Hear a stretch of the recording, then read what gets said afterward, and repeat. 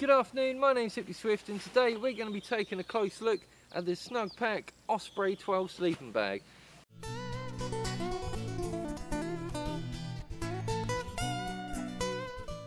First of all, let's take a quick look at some of the specifications for this bag. Temperature rating of this, comfort down to minus 10 degrees Celsius. That's quite good, which is 14 Fahrenheit in American terms. It weighs 2,000 grams to 2 kilos.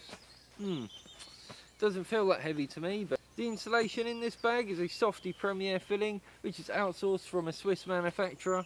They make this insulation purely for Snugpak alone, so without further ado, let's get out of the bag and take a look. So here we have the Snugpak Osprey sleeping bag rated down to minus 10 degrees Celsius. This is a good sized sleeping bag as you can all see. Rated down to minus 10 degrees Celsius this thing so uh, yeah I like this feature on the majority of the Snugpak range. Little handle at the back. No issue at all with that. I really don't like using a side handle in most bags because you know it'll pull out and rip and stuff so let's puff that a little bit give it a little bit of loft in, inside the insulation there first off you can see it's got a nice big foot box here nice and wide and at the top got a nice insulated hood the insulation rating on here is down to minus 10 degrees Celsius through and through four season here in the United Kingdom anyway. But yeah, zip, nice easy zip down the side, nice thick baffle, nice thick one here though. Snug pack, Swiss insulation, which is by the way Softie Premier insulation, specifically made and designed for Snugpak themselves. So uh, yeah, it's good to know that people are thinking, is there an inside pocket this? No, there's no inside pocket. Again, a good tip for not getting your zip caught is put your finger or thumb underneath the zip. Lovely job. There's even a double zip on these down the bottom.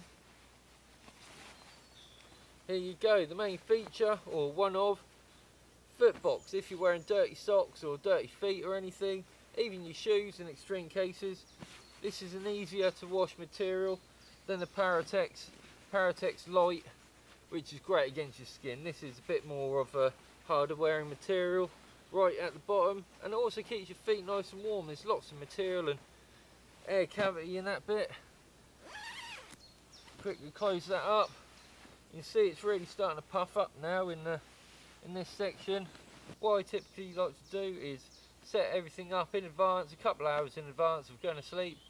Give everything a nice chance to loft up a bit the insulation on this is a Paratex Steelplate on the outside, slightly water repellent. It's not waterproof by any means, but slightly water repellent, just to keep the light mist off you in early spring mornings, winter dew sets in, that type of thing.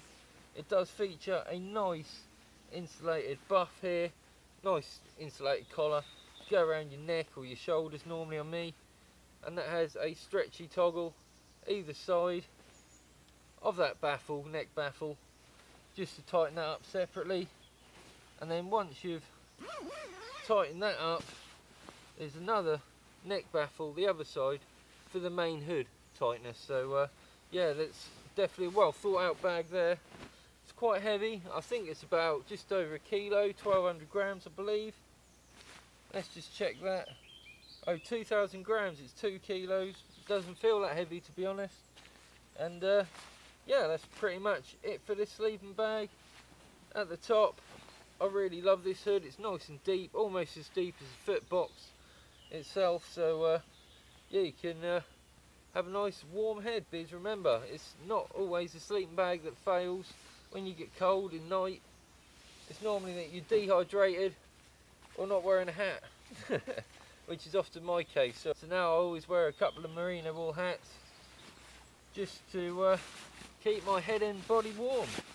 Now let's see if we can get it back in this bag because it's a beefy old sleeping bag and it's been out about six, seven minutes now so it's got a lot of air in it. It's got a lot of air in it.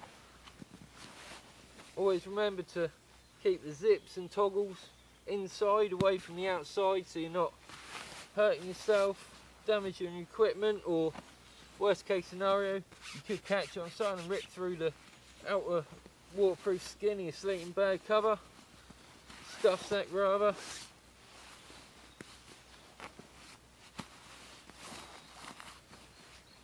Right, so that's about that. That's about that. There you go. It's done.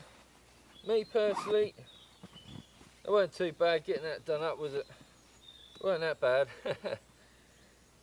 so there you have it. That is the Snugpak Osprey Softie 12 insulated sleeping bag. Minus 10 people. You're not going to be cold, are you? If you like my review on the Osprey 12 sleeping bag from Snugpak, then you can find more reviews over there, and the adventures have gone themselves over there.